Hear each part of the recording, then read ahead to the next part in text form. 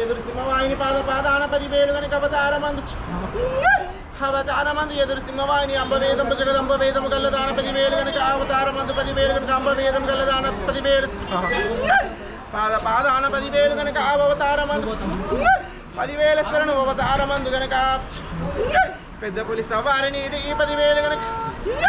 అవతారమందు కనుక త్రిశూల దారిని పదివేలు కనుక